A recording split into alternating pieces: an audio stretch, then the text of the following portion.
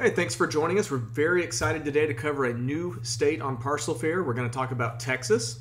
We've been sort of slow loading Texas over the past few months, adding counties here and there to, to learn the process and learn and find where these auctions are. And so today, this video is really just to get you up and going quickly to let you know what the opportunity is in Texas, how do the auctions work, why should you invest there, and you can compare it to other states. I think, you know, once you see the details of the auction. So uh, let's get started here. We're going to jump straight in and talk through the life cycle for these tax deeds. And we're going to start way over here on the left. I needed a lot of room for this uh, diagram. So we're going to start with a tax delinquent property. And basically what happens is it could take up to maybe five years even, but after a property's tax delinquent, eventually the tax collector issues a tax warrant which then essentially results in the property being seized by either the tax collector, sheriff, or constable, depending on the county. And one of the themes you'll hear uh, and learn in Texas is that every county is going to be a little bit different. Some of them are going to have uh, tax collectors, and, and some are going to have sheriffs or constables doing some of this work and doing the auction. So, just suffice it to say that one of those three will be uh, seizing the property via warrant, but the tax collector will be issuing that warrant and then basically that property will be scheduled for an auction and the counties hold monthly tax auctions throughout the year. It's the first tuesday of each month assuming that the county has some properties to sell. And you may see these called sheriff sales you might see them called constable sales tax deed auctions or just tax auctions. So uh, just depends on probably the county and, and who you're talking to. So right at this point, the auction has happened, and the properties that have sold, those deeds enter the redemption period. Now that that means we're talking about redemption deeds in Texas. So the redemption period is interesting because for the majority of properties, they're going to have a homestead exemption, which really means the owner lives there. That's sort of the norm in a lot of places. And in those cases where they are homestead exempt, there's a two year redemption. There, Texas is slower on the redemption period because the owner's living in the actual property or house. For those properties that are not homestead exempt, there's a six month redemption period. And so essentially, those are going to move a lot faster. Uh, there's just not as many of them from what we've seen. So there's another route of the unsold properties. These are unsold deeds. They did not sell at the auction. And the term in Texas that they like to use seems to be struck off. That's the most common term we've heard is that those unsold deeds are struck off and they will go to either another resale or another auction or some counties will have them as over the counter sales. So that's just to kind of put that in your head and remember that uh, the unsold deeds, there are other ways to buy those as well. So I have two different outcomes here, and, and, they're colored green because I think both of them are beneficial to you as an investor. But the the one you may be hoping that the redemption period ends and you get the property. That's the straightforward one. Is that the owner no longer has any uh, redemption rights. But the alternative is that the property does redeem, which is also beneficial to you, especially in Texas, because in order to redeem their property, the owner has to pay their taxes owed plus 25% per year in penalty interest of your winning bid at the auction. So if if you had uh, won a property at ten thousand dollars and uh, the twenty five percent gets assessed, you're making a two thousand five hundred dollar profit immediately on your ten thousand dollars. And I say immediately because that's how penalty interest works. It's not prorated over months; it's penalty. So with it, if it's a week after the auction and they redeem, you get twenty five percent. If it's 51 weeks after the auction, almost a year, and they redeem, you still get 25%. No matter which day in between in that first year, you get 25%. and we'll cover it in a minute, some of the more details here, but the properties that go into a second year get really interesting. So let's uh, switch gears. Now we've talked through the life cycle diagram here. Let's move on and let's talk about these auctions at a glance and we'll uh, retread some of that ground again, but in more detail. So these auctions are, are formatted in a premium bid format. So that means the highest bid wins. It's not a bid down interest or anything uh, partial interest, any of that. It is traditional premium bid format. Uh, the location is interesting. Uh, there are more in person than online in Texas, but it does seem that counties are moving online over time. Uh, I would say, let's see, there's like 254 counties in the state. I would estimate uh, less than 40 are online so far. The auction season, it just happens all year. Remember, we said a minute ago that it's the first Tuesday of each month for each county. If there are properties available to sell, they will hold the auction. Now, back to that redemption interest rate. I talked about you have 25% penalty in the first year, no matter what day the owner redeems, you get 25%. And I said things get interesting in the second year because in the second year, an additional 25% penalty interest applies. So where I come from, that's 50% interest if you make it to the second year in redemption. So uh, just to play it out, uh, let's say the auction happens, you you win the bid, and a whole year passes by, and then the next day, we're one day into the new year after the auction, the owner redeems. They're gonna have to redeem with a 50% penalty on top of what you uh, went, what your winning bid was at the auction. So it's uh, very strong interest rate. We don't see interest rates this high many places, uh, especially to compound like that uh, year over year in a penalty format is very rare. So this is one of the main reasons people like investing in Texas. Uh, there's a great chance of getting the property because it's so many years delinquent. And if you don't get the property, you get a wonderful interest rate return. So that is the opportunity in Texas. That's why people are excited to invest there. So now that we've covered how all that works, let's go do a live demo and show you where to find these auctions. So we're going to use our, our tool Parcel Fair because that's the channel that we are uh, posting this video on is all about Parcel Fair. So uh, from the home screen, parcelfair.com, you can, uh, if you're if you're a calendar person and you want to see what's available, you go to the auction calendar, click that button. Let's select Texas. And what we're looking at is uh, August 6th, uh, that Tuesday. Let me enlarge this a little bit for you. Uh, all of these auctions happen on that same day. So if you know, uh, like if you know what county you want to be shopping in, you can go straight to the chase and just go to the county. But if you want to go by counties with the most properties available, this is sorted by the largest auction first. So the largest auction has 57 parcels not a huge auction, but remember they're doing this every month as long as they have property. So throughout the year, a county could auction off hundreds of properties. So if you want to view this in a map, just uh, click the green button right here, and you can map everything or just the auction properties. If you're a list person, especially with auctions this small, you can always go for the list and just list properties from the auction like that. Now we're looking at 57 parcels and uh, I can sort by the building value if I want to see the most expensive building up top, or I can um, sort by uh, the amount due is actually going to be the opening bid. I could go lowest opening bid first at uh, about eight thousand dollars. So this is a, the list way of doing it. Uh, let's switch over to the map now. So this is you know what we call helicopter mode. You're basically hovering over the map and uh, Jefferson County that we're talking about is this area. Beaumont seems to be the biggest city.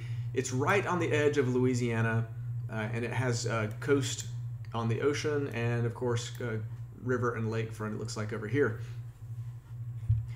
So, uh, if I want to filter these properties down, I could actually go in here and do just improved properties only to see only what is um, has structures on it. Um, I can there's a lot of different things I could do. A minimum value of fifty thousand dollars if I want properties that are worth more than that. Uh, one thing to point out here is if um, in the inventory box, we're looking at the deed auction right now, but there are two other buckets of properties here for this county.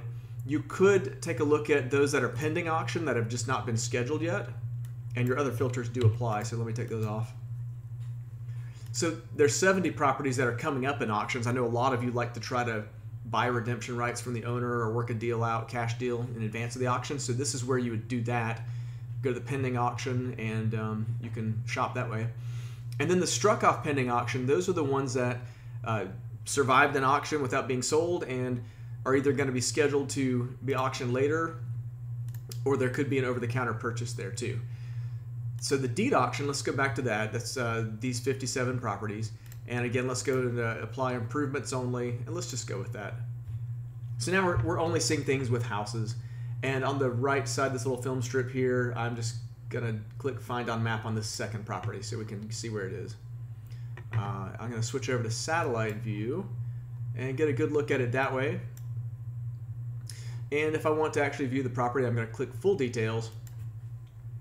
And now we're looking at the full property report. The valuations on the right here of the, uh, the breakout of what the land and the building are worth. Uh, several identifiers for the county if we need those. Uh, the street address right here and uh, we see that it's currently occupied. Uh, the mail is being checked right now, uh, so the postal service tells us it's occupied.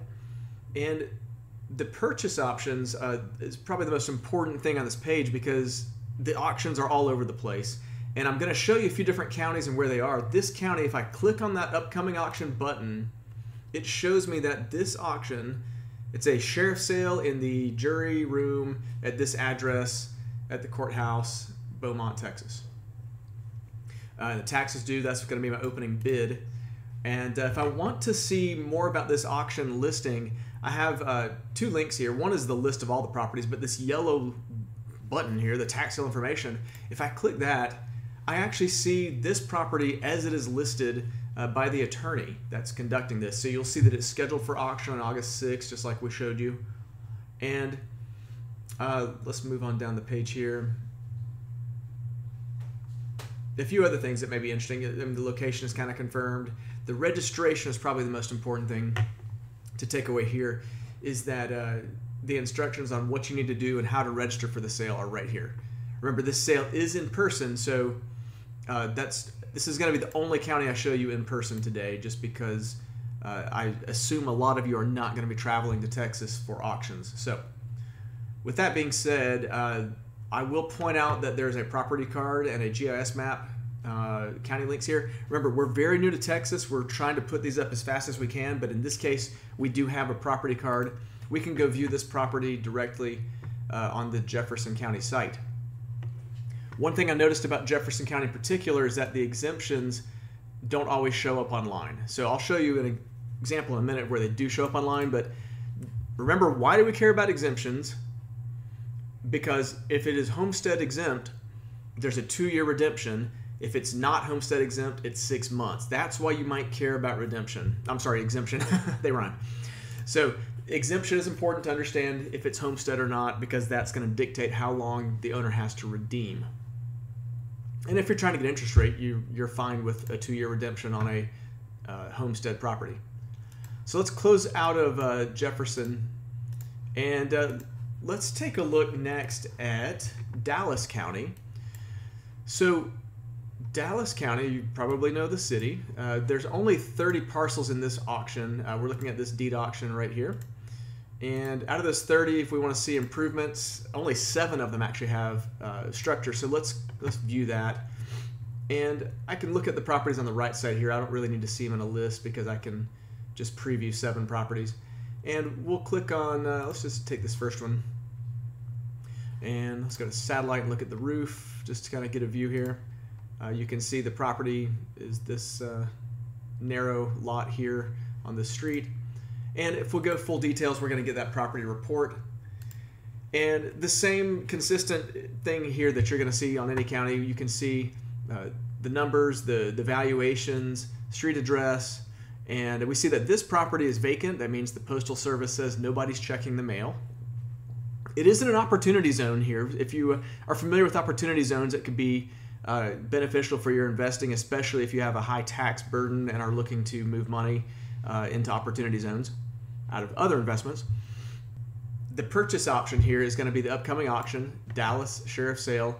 Notice this one is online at Real Foreclosure, and if you invest in other states like maybe Florida, Arizona, places like that. You're familiar with these similar sites that do this. I think Ohio is also uh, a big one on real foreclosure.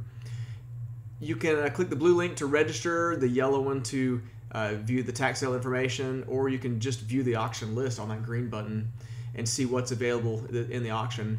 So again, if you've invested in other states on real auction, real foreclosure, any of those, this will look very familiar to you. So that is uh, Dallas County, which are available on real auction as online auctions. And let's go look at a couple other online auction places. My next one to show you is Hidalgo County, and we're gonna map those properties here. It's only nine in this sale, kind of small. And let's just click on the first one there. I uh, don't, yeah, that's a good one. It actually has a house on it. So it's a vacant house. And the thing I want to show you here is the sheriff sale. Uh, let's go to that. And this is actually online at auctionhousellc.com. But if we click on this tax information, it still takes us to the attorney listing with a link to the online auction site there. So everything you need is, is basically comes off of this yellow link. We can go view the property at the uh, auction listing and go view the actual auction on the auction website, which is called Auction House. So that's one of your online options uh, if you want to uh, not have to travel to Texas. And then one more county for you. Let's go look at Grayson County. This one's going to be very familiar uh, if you invest in other states because they use a pretty popular auction site called GovEase. Let's let's um let's go to this one. We're gonna view this uh, little land only three acre property, and basically it's the same thing we've been showing you, but in this case, uh, let's take a look at the purchase option, which takes us to the govease.com location for the auction. It's on August August 6, 1 p.m. govease.com. We can register, uh, view the auctions, or actually just go straight to the list in Grayson if we want to do that. And uh, so GovEase has great videos and instructions, live help right here to help you get registered, help you bid. And the great thing about these online auctions is most of them let you bid in advance, so you don't have to actually um, be stressed out in the moment and uh, show up at an auction. You're, you're behind your keyboard, or you, maybe you just set it up for autopilot. So that's a quick sample of the counties in Texas that we've been uh, learning and researching uh, how to get to some of those online auctions. And then again, the in person auctions, there's quite a few of those. And uh, one thing I'll tell you, you can actually go look at September now. There's already uh, six auctions announced early for next month that aren't even um, here yet. And more will be added. Uh, as these auctions get announced, you'll see September populate and fill out, much like August did. So I hope this was helpful for you to understand the opportunity in Texas. Why do people recommend it? What's so great about investing in Texas? And if you're an online investor, how to do some of those online auctions. And if you're uh, able to go in person, I highly recommend it because a lot of times the in person auctions have less competition. You may get better deals in person if you can travel or if you live there uh, could be very beneficial to you. So again, hope this video was helpful. Uh, please subscribe to our channel and like the video if you want to help us out. And if you want to see more content like this, talking you through markets and giving you tax investing news, uh, we'd uh, love to have discussions with you. So engage us on the comments board, uh, reach out, contact us on our website. And if you haven't tried Parcel Fair, uh, it's seven day free trial, nothing to lose. We don't even require a credit card. You just sign up, get the seven day free trial, no credit card required. And if you don't like it, we'll leave you alone. You'll never hear from us again. But uh, yeah, give us a give us a shout if you have questions. Try our product and uh, let's let's talk about your experience in Texas as you're uh, investing there.